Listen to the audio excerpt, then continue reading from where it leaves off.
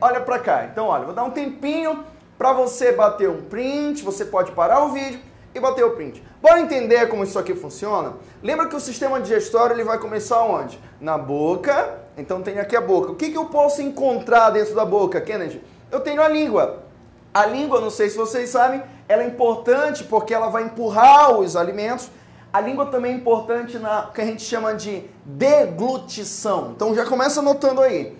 A língua, ela ajuda a empurrar os alimentos, tanto para o lado, para o outro, na hora da mastigação, e ela é importante para o ato da deglutição. O que é deglutição? O que é deglutir, Kennedy? É o ato de engolir. Então, deglutição, engolir. A língua que vai empurrar. A língua também, a nossa língua, é importante para a nossa fonação, para fala e muitas outras funções, tá? Outra coisa, dentro da boca eu encontro os dentes, que a gente vai ver daqui a pouquinho, vai falar melhor sobre a boca, tá? Eu tenho também aqui o que a gente chama de glândulas salivares, que vão produzir saliva. Lembra para mim que eu tenho três glândulas que estão relacionadas, chamadas de acessórias, glândulas acessórias. Acabei de falar, quem são elas? Glândulas salivares, o fígado e o pâncreas. São glândulas acessórias do sistema digestório. Eu tenho uma glândula que é chamada de parótida. Ela é uma glândula salivar. Ela vai ter uma parótida acessória e ela vai eliminar a saliva. Bem aqui, olha, na boca. Eu tenho uma sublingual, que é uma glândula salivar também, está debaixo da língua. Tem outra, basicamente quase dentro da língua, que é acessória. Submandibular é outra glândula salivar que eu estou aqui. Então tenho três glândulas salivares principais. Galera, lembra que depois da boca eu vou para a faringe. A faringe. Da faringe, ou, ou a substância, o ar, tanto faz, pode ir para o esôfago ou pode ir para a laringe. Então não esquece, a faringe, a faringe, ela é comum a dois sistemas. Anota aí com calminha. A faringe é comum a dois sistemas. Quais são os sistemas? Digestório e respiratório. Olha que interessante.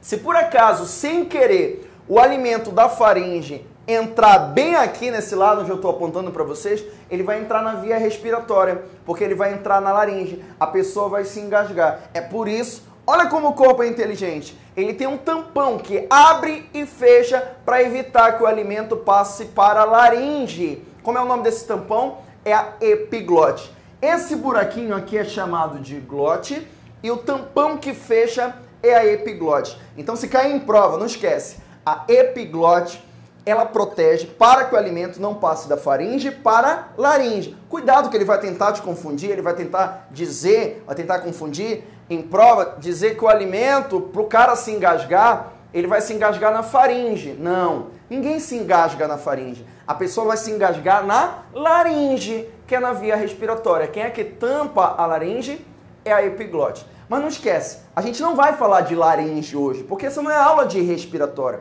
Só estou mostrando isso porque cai em prova. A gente vai ter exercício para resolver isso no meu site, tá? Qual é o caminho então, de novo? É boca, faringe, digestório, esôfago, esôfago. No esôfago acontecem movimentos que a gente chama de movimentos peristálticos. Peristáltico, ele vai levando o alimento. Então, é possível, galera, você comer de cabeça para baixo. Se você ficar de cabeça para baixo e você conseguir deglutir, engolir, chegou no esôfago através de movimentos como se fosse um creme dental, um creme dental que eu vou apertar e o creme ele vai passando, isso acontece dentro do esôfago. Vai chegar no estômago, não está muito proporcional essa figura aqui. A Kennedy está muito estranho isso aqui. Porque eu tentei afastar um pouco mais para ficar mais didático para você entender, tá? Então passa para o estômago. Bem aqui é uma glândula anexa chamada de fígado, tá? O fígado que vai ser importante, vou te dar a função dele.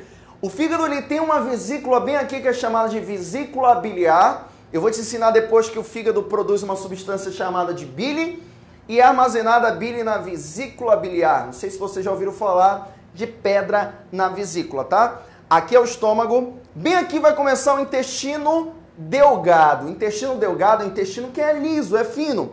E eu tenho uma primeira porção que é muito importante do intestino delgado. Grava esse nome, galera. Duodeno. Duodeno. O termo duodeno ele surgiu porque o primeiro cara que descobriu, ele foi medir o duodeno através dos dedos dele e deu 12 dedos. Por isso que ele deu o nome de duodeno. Tem aproximadamente 20 centímetros de comprimento. 20, 25 centímetros, na verdade, 25 centímetros de comprimento e a maior parte do intestino delgado é o que a gente chama de jejuno e íleo, que a gente vai estudar depois, tá? Logo depois, olha, do odeno vai entrar no intestino grosso, que a gente vai falar melhor do intestino grosso, reto, e vai ter o ânus. Então o objetivo geral disso aqui é mostrar para vocês anatomia, você entender pelo menos onde é que está cada um. Bem aqui, galera, tem outra glândula acessória aqui grudada no duodeno, que ela é chamada de pâncreas. A gente já vai estudar ela, que ela vai produzir o suco pancreático. Tá vendo aqui?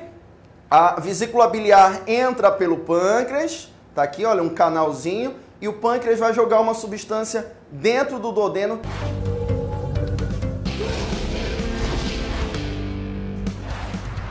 Deixa que a gente explica